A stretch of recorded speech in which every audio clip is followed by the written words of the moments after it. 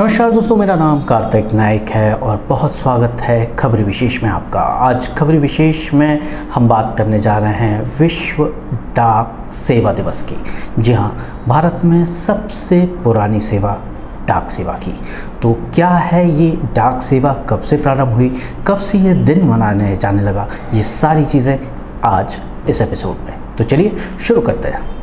दोस्तों, डाक सेवा एकमात्र ऐसी सेवा थी जिसके ज़रिए व्यक्ति व्यक्ति से जुड़ा रहता था। दुनिया भर में 9 अक्टूबर को डाक सेवाओं की उपयोगिता संभावनाओं को देखते हुए वैश्विक डाक संघ की ओर से विश्व डाक दिवस मनाया जाता है। डाक दिवस मनाए जाने के पीछे उद्देश्य लोगों की डाक सेवा के महत्व के प्रति जागरूक करना है। डाक विभाग लंबे वक्त से भारत ही नहीं, बल्कि दूसरे देशों तक भी सूचनाएँ पहुँचाने का सबसे विश्वसनीय और सस्ता साधन रहा है। डाक दिवस या पोस्ट डे दुनिया भर में बड़े ही जोश और खरोश के साथ सेलिब्रेट किया जाता है।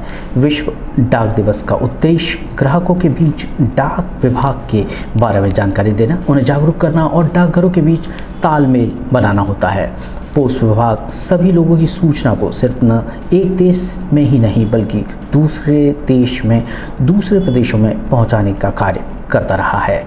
वर्ल्ड पोस्ट ऑफ़िस डे मनाने का मुख्य उद्देश्य आम आदमी और कारोबारियों के रोज़मर्रा के जीवन में समेत देश के सामाजिक और आर्थिक विकास में पोस्ट के योगदान के बारे में जागरूकता पैदा करना होता है।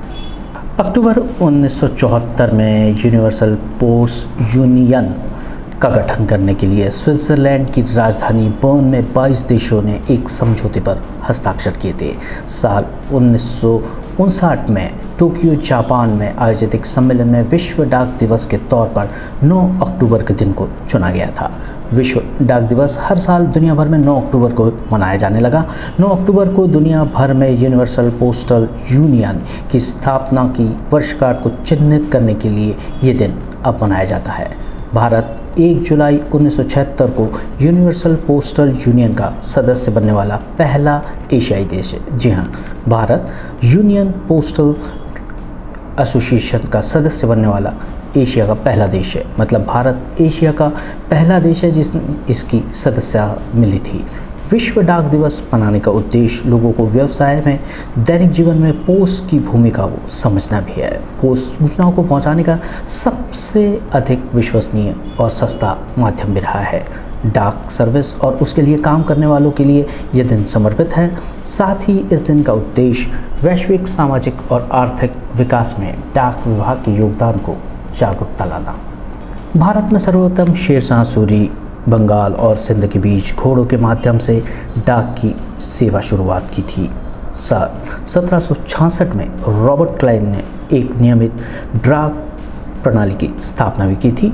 डाक सेवा में वास्तुशिल्प मूल्य वाली अड़तीस विरासतें शामिल हैं, जिसमें क्रमशः कोलकाता एवं मुंबई में जीपीओ इसके अंदर शामिल हैं।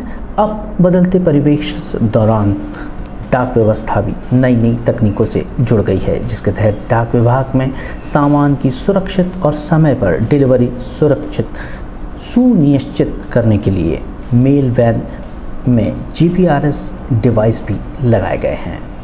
तो दोस्तों, ये थी एक छोटी सी प्रस्तुति डाक सेवा दिवस के ऊपर। उम्मीद करता हूँ कि आपको पसंद आई होगी। देखते रहिए खबरी, क्योंकि खबरी की है, हर खबर पर नज़र। नमस्कार।